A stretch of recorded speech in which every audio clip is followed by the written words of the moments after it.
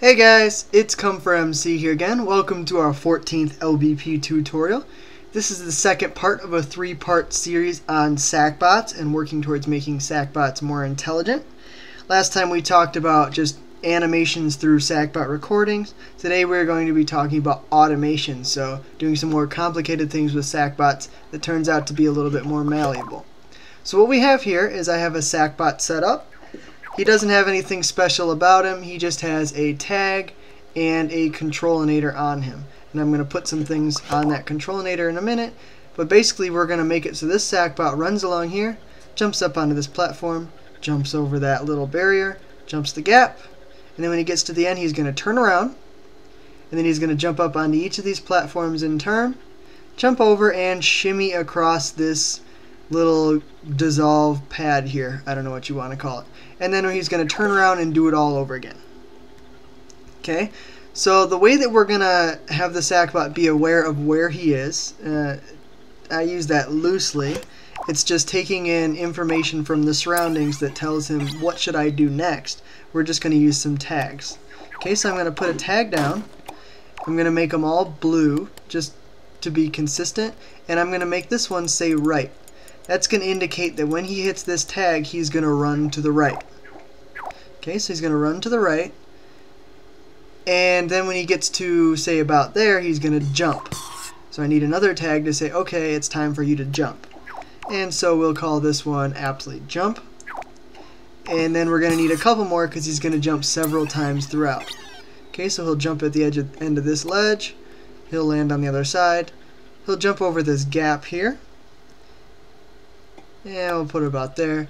And we'll leave it at that for now. We'll just get that working and then we'll complete the rest of it as we get to it. Okay? So the way that we're going to communicate that there's a tag there to the Sackbot is obviously using tag sensors. I'm just going to make sure that I can rotate these 90 degrees. Flip it over, all the way over. We'll decrease the radius a little bit. Eh, we'll say about 10.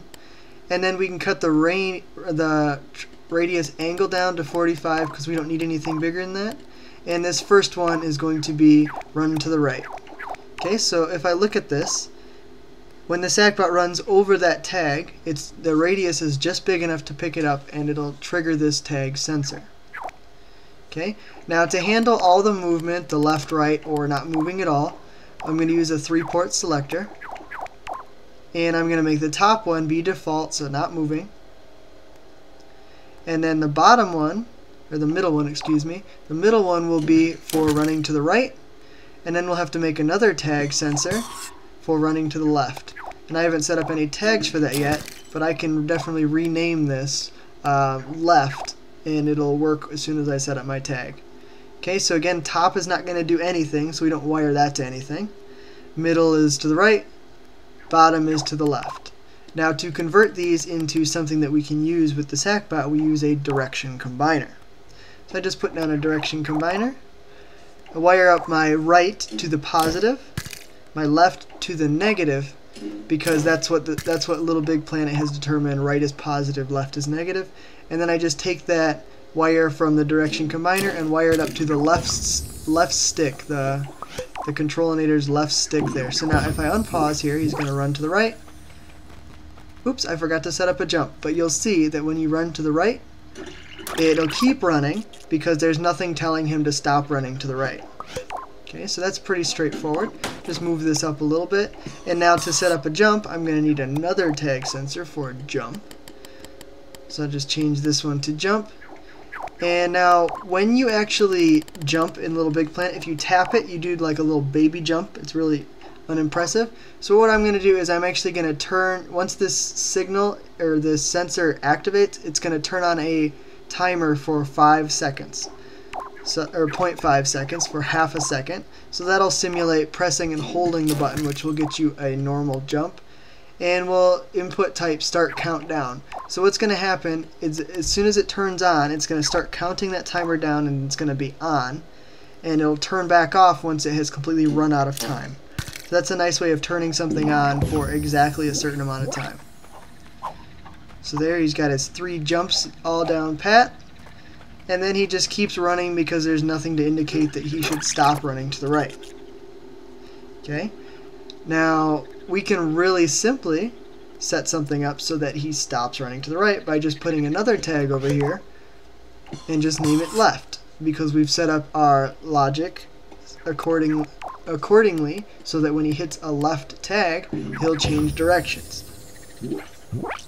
Okay so let's see him. He's gonna run through. Jump jump. And then when he hits that one he's gonna turn around. He's got a little bit of momentum so you need to make sure you don't have it right up against the edge. But otherwise everything is working pretty well. Now we want to make it so that when he gets to this next spot, he jumps up onto the ledge, but we don't want him to jump the first time he passes here. So we're going to have to do a really simple circuit board to make sure that he doesn't jump on when he's running to the right, and instead only jumps when he's running to the left. There are a couple ways we can do this. I'm going to do it in a specific way that'll that'll always work. Um, I just set this up so it's a, a tag sensor that runs from 20 to 30 radius and the angle is 180. So when he then the Sackbot hits that green trigger radius, it's going to turn on a timer for 5 seconds, for example. Okay, now the important thing here is that you have to make sure that your Sackbot has a tag on him so that you can communicate in the level. Um, mm, I just put a green tag on it, it's really simple. Okay, and again, we want him to jump, and we only want this tag to be on when he has already passed it. Okay, so if we run this through, he's off to the left running through this all, and then he's going to trigger this. It'll turn on for a few seconds, allowing him to jump up there just like we would want. Okay, and then I need him to jump a few more times, so I'll just put a few more jump tags on here. Now notice, because we pointed our tag sensors down on the Sackbot, when he runs right underneath this blue one, that blue one over there on the right, it doesn't trigger it. So, works out kind of nice that way. So let's see if he turns, changes directions, jumps, oh sweet, and it's working. Okay, now, he didn't grab because we obviously haven't set up any grab logic yet. And his momentum carried him right off of this platform over here. So I'm just going to extend this a little bit so his momentum doesn't drop him onto the floor because once he hits the floor, he's no longer in this area where he is aware of his surroundings. He has no more tags to communicate when he should do what. So once he drops off of this area, he becomes just a stupid sackbot and he doesn't do anything that he's supposed to. Okay, so I've set up a piece of hologram material here. I'm going to name this hologram grab, or the tag that I put on this hologram grab, aptly named. And so when he's in contact with this hologram, because it has that tag on it, I'm going to make it so that he starts this grab sequence where he's going to shimmy across. Okay, so I use an impact sensor. Make sure that it requires touching and the tag is blue and grab, so it matches up. You have to include touching again because we're using hologram material, just get in the habit of doing that. And then I'm going to use a selector as my toggle. I've talked before about why toggles with selectors are handy and then I'm going to make it so when it's on the bottom, nope, we'll go with the top. When it's on the top selector port, it's going to grab. Okay, so what I'm going to do is, and I've actually set this up incorrectly, so it's not going to work quite right, but what it's going to do is it's going to cycle through these grab, not grab, grab, not grab. And I didn't realize until right now, oh, I forgot to set up a timer that handles that grab, not grab, grab, not grab. So I'll just put a timer right in between my impact sensor We'll drop this down to 2 seconds, set it to forward backwards, and wire that to the cycle on the selector port. Okay, so he's going to run through. He's going to turn left when he gets to the end, jump three times, and now when he grabs, he's going to grab on and off, on and off. And because he's holding left the whole time, that actually allows him to shimmy across.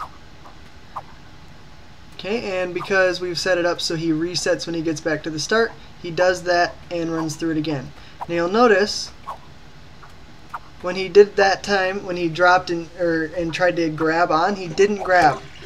The reason that happened was because the selector port was on the bottom when he hit the grab, when he hit that green dissolve material we can make it so it resets back to the top every time he jumps, and that's a nice, simple workaround way of dealing with this. So if, when he jumps to go to grab that dissolve, it's going to reset to try to grab again. So right now he is always trying to grab, but because I've set up nothing else that's grabbable, he doesn't grab anything until right here.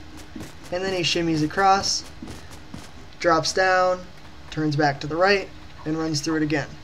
Now the nice thing about this kind of system as opposed to recording animations is that you can easily extend or add or modify the terrain as you see fit.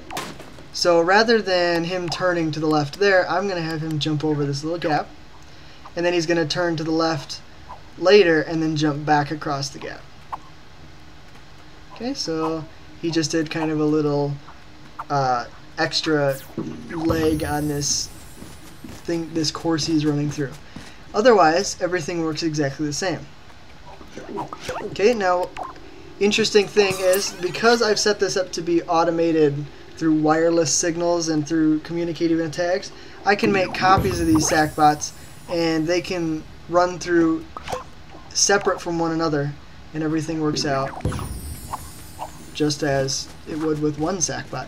So here we can have two Sackbots running through this and it looks kind of cool. It's actually really interesting to put like four or five of them in a row and have them run right behind one another. Um, I planned on doing that, but I kind of ran out of time, so whatever. So what I'm going to do now is I'm going to go to another level and show you an example of what this looks like in practice. So see you in a second. Take care. Alright guys, here we are in my wizard level. This is right near the end of the second level. I have here a Sackbot with some special abilities. So he can do sprint, he can roll, and he can do jump and super jump. And I just put those on a controlinator and this isn't too far removed from the last video that we talked about. I won't go through all that because frankly we don't have time. And again you can see that I have tags here so this one is boss jump so when the boss gets there he's gonna jump and then I've got some other tags here so I've got boss run to the right boss sprinting and boss taunting. And I have hologram here so that he'll sprint for as long as he's in that hologram. And then when he hits jump, he'll clear the gap. He'll roll when he gets to that tag. He'll jump when he gets to this one, and that'll send him up to this ledge. We'll turn on these sets of tags. Boss to the left, so he'll turn directions. Then he'll roll, jump, and he'll jump all the way over this gap, jump up onto this ledge, and then he'll stop and wait for you and do this little taunt animation that I've set up until you grab onto this R1 pad and then he'll start running again.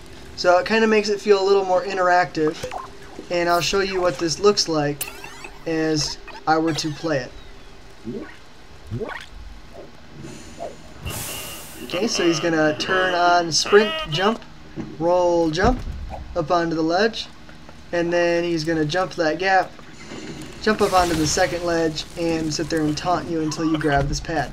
And then he'll run through the rest of his animations, and you can imagine that I just have more tags set up that's controlling his different movements. And by making him stop and pause and wait for the player, it makes it feel a lot more interactive, and this is a really nice application of this Sackbot automation stuff that I was showing you before. Okay, so you can do whatever you want with these kind of automation Sackbot communicating things. Um, this is just one thing you could do. I'm sure you guys can come up with a lot of creative things that I hadn't even considered. Um, but the idea, the principle remains the same. You just set up tags and use selectors to select different animations, whether it be running to the right, running to the left, jumping, and whatever. So hope you guys learned something. Take care. Bye-bye. The tutorials will unleash not only exciting tools and objects, but knowledge and the deepest secrets of the cosmos.